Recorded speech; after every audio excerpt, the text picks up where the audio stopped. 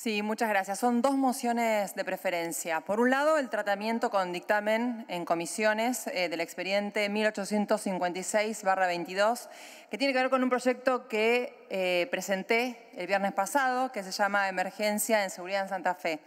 Bueno, hoy a las 12 del mediodía nos avisaron que ya había sido girado a tres comisiones y por eso lo que queremos pedir es que por favor se realice un plenario de comisiones y que se le dé preferencia para que sea urgente.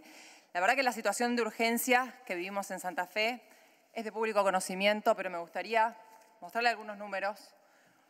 175 son las personas ya fallecidas, los homicidios en la ciudad de Rosario nada más.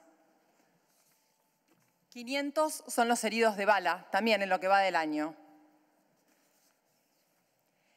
39 mujeres son las asesinadas en lo que va del año en la ciudad de Rosario. Y digo hoy que vamos a homenajear a tantas mujeres, hoy que vamos a hablar de días especiales para mujeres eh, de la Antártida, mujer eh, petrolera.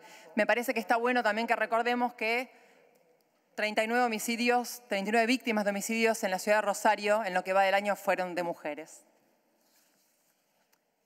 19 son menores de edad. Así que también es importante recordar que esto es un récord, la cantidad de chicos menores de edad asesinados en la ciudad de Rosario en lo que va del año 19.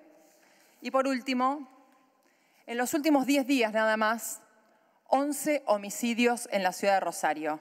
Me parece que todo esto merece que realmente todos tomemos conciencia de lo que está sucediendo en la ciudad de Rosario y aprobemos esta, esta emergencia, porque vale la pena, son vidas humanas y familias.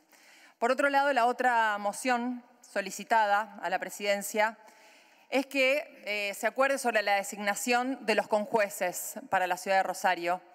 La provincia de Santa Fe tiene una justicia muy magra y necesitamos de una justicia federal robusta por la misma situación que acabo de expresar. Muchas gracias. Eh, gracias, señora senadora.